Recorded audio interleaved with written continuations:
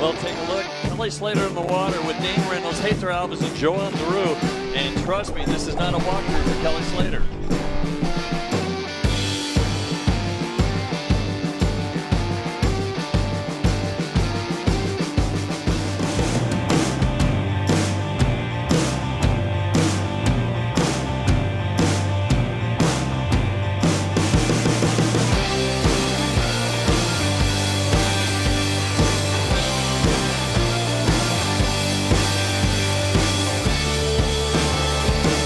Thirty seconds remaining. There is a little bit of pulse coming out of is their time.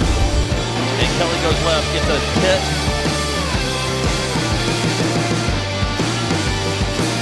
And he exits. Just pulls the whole Houdini. That's exactly what you would have to expect.